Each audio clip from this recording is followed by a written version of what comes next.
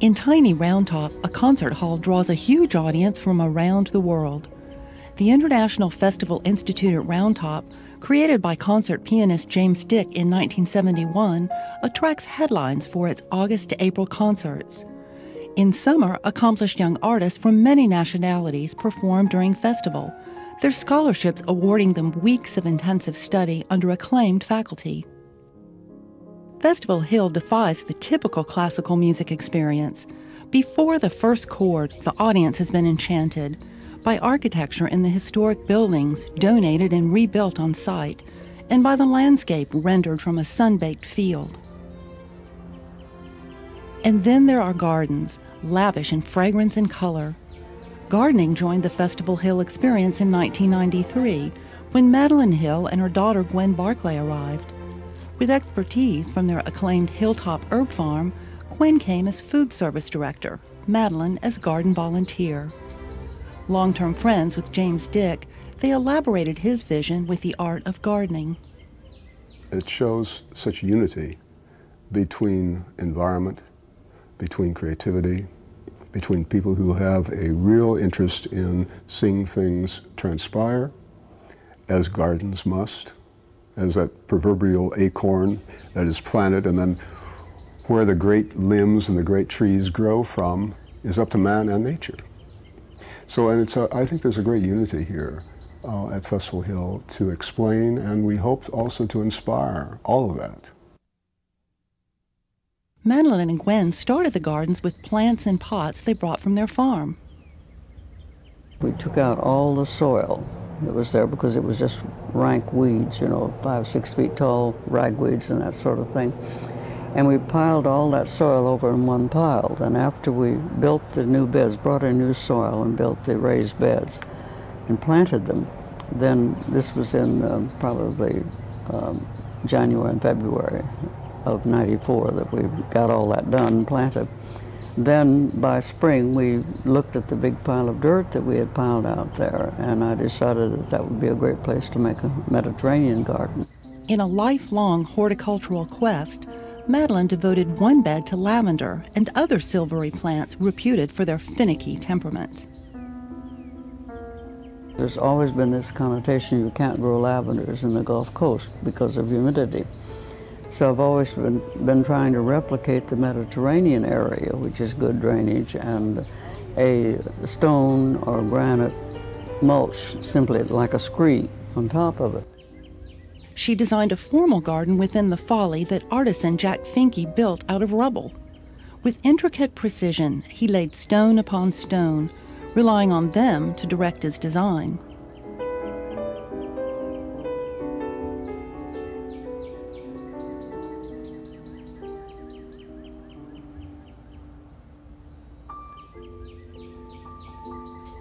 Madalene designed the garden in concert with Festival Hill's renewal of the senses.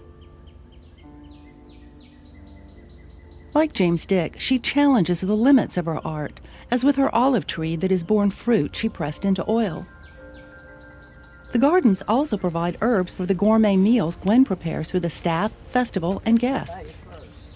I've always believed, and I guess I got this from Mother, that if you use fresh herbs in all the food you cook every day, then you get all the nutritive values of them.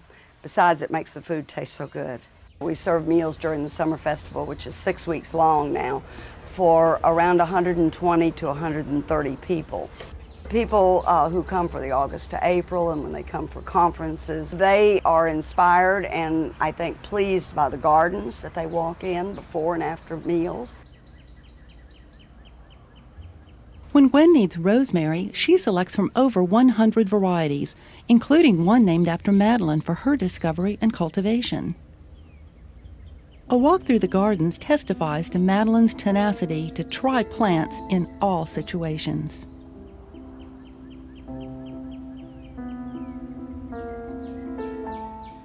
I guess because I'm left handed and a little hard headed. I mean, people say you just can't do this. There isn't any such thing as no and can't. You have to find out, if you're interested, find out why you can. Madalene's experiments led to a pharmacy garden, a global tribute to plants and their scientific contributions.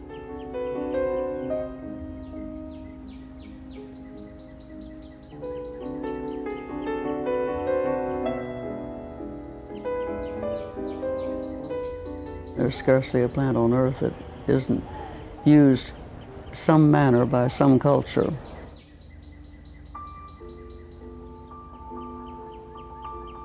Devoted volunteers come weekly to help maintain the gardens and harvest Madalene's knowledge. I've been able to grow a lot of things successfully. I think this is important for other people to know that they can grow them. Volunteers also work with Henry Flowers, garden director since 2002. He joined Madalene after years at the nearby Antique Rose Emporium. I just see it as a great opportunity to uh, spend my knowledge of plants by uh, being here and working with her and working with these plants. Visitors stopped by for tours and Madalene's tutelage. As interest in the gardens grew, Gwen developed herbal seminars in fall and spring. Both of us are natural teachers. I have been known to instruct people in the produce department on how to cook a vegetable that they don't know.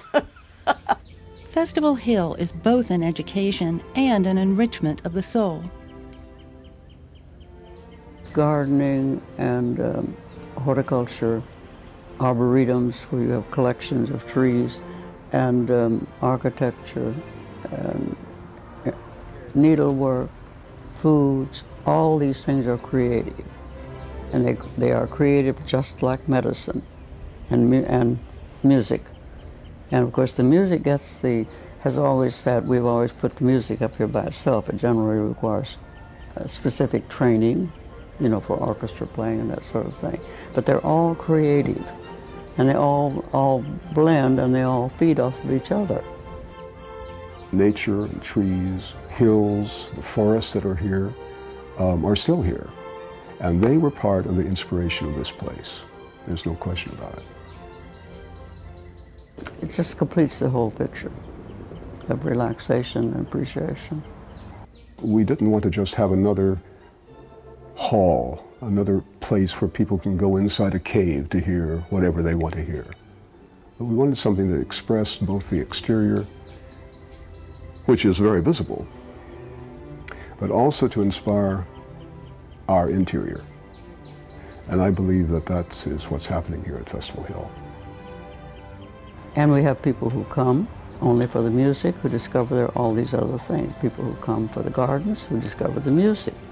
So it's, it's just, people's whole psyche is, is nourished. And many times they didn't know they needed it.